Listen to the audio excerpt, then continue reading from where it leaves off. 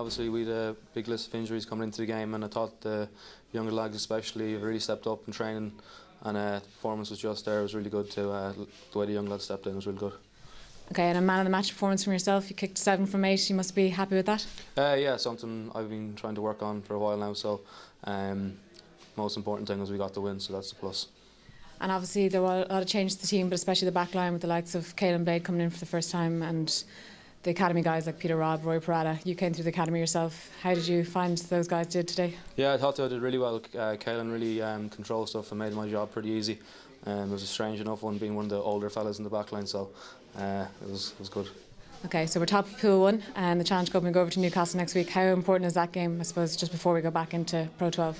Yeah, obviously we saw how tough they were today. Um, it's going to be a tough game away over there, especially with the 4G pitch. So uh, we're going to regroup after tonight. We've Monday off, so we'll uh, put the legs up and be ready to return to go next Sunday.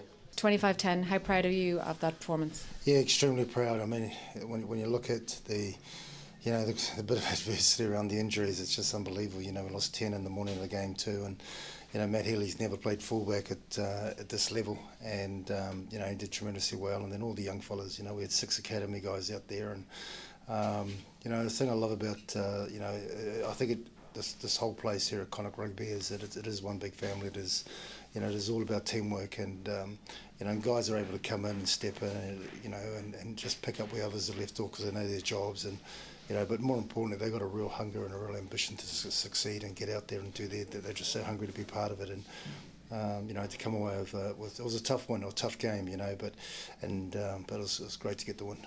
And Newcastle really brought a lot of intensity to that game. How well did our guys do to, to overcome that? Yeah, it was. I mean, we knew they would. I mean, they're um, you know premiership team, and uh, you know, there's, there's although they um, there's some guys that play uh, often together, and um, you know some big boys, but you know we defended really well. First half maybe we were a bit slow getting off the line, but we put a lot of pressure at the ball at the breakdown, and we got some some good turnovers. But you know we had to really grind it out, and you know Jack Carty had a great day with the kicking with the kicking boot, and uh, kept the kept the scoreboard ticking on, and and um, you know then we, we come away with a couple of tries uh, near the end there to uh, to pull away. And you mentioned Jack Carty there. He obviously did really well, especially in a very changed backline. How well did those academy guys, the likes of Rory Parata, Peter Robb, those guys coming in, how well did they do? Yeah, I mean, it was a very young backline, and um, but I think it shows. Uh, I said to them before, you know, Rory started the season off with Bundee, and then um, Peter started off with Bundee. Now it's the two of them together. So you know, I mentioned a quiet word to them about, you know, they've got to be the Bundee. You know, the guy who who, who leads, the guy who you know excites. And I thought both of them did, did really well. And then you know, Caolin Blade, you know, he's been waiting for his opportunity, and he came on and and, um, and brought us brought a lot of energy as well.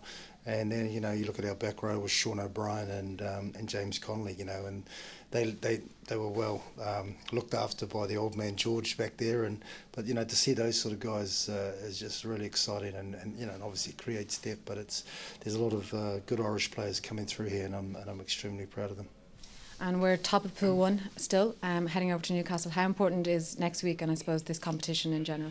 Yeah, it's a it's a, a real challenge for us now because you know, obviously we lost Dave McSharry at the end there, 10, and um, you know, Matt Healy took a. There's, there's, a few knocks there, and my real concern now is that we have a, a tough game. We're going over to a 4G pitch, um, six days, only a six-day turnaround to play Ulster back here, which is a big game for us. So, trying to manage this, and, and, and at the moment, you know, we're, we're pleading hopefully with the um, you know the EPCR to uh, give us some leeway so we can bring some more the uh, younger players and some more players in because we are really struggling on our feet to get a, uh, a match day squad up there.